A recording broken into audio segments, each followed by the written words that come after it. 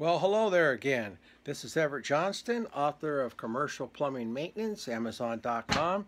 You might want to take a good look at it if you're in the plumbing business and stuff. Today's unrelated to the book, believe it or not, unrelated.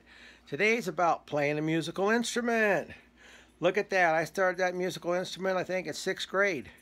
And what did it do? It led me to the Drum and Bugle Corps in the Air Force. Look at that, Drum and Bugle Corps all that stuff. I was in that uh, basically in basic training, and we call it basic, you know, all that stuff.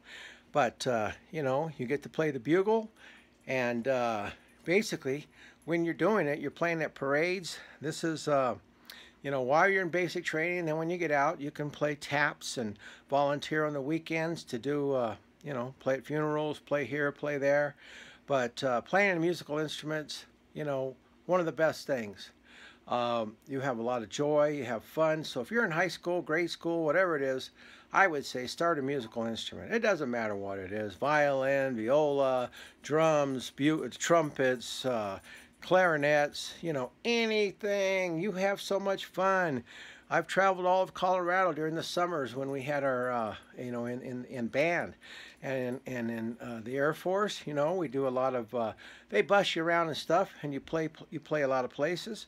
So my advice, if you're a young kid, get into it. You'll love it.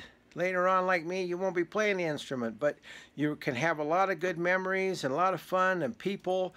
Oh, so many good people are in band. Band, ban, ban. Enjoy it. Have fun. And if you like to play the guitar and you like to play other instruments, get with it. Enjoy yourself. Have fun. This is life. It's short. Goodbye. Take care.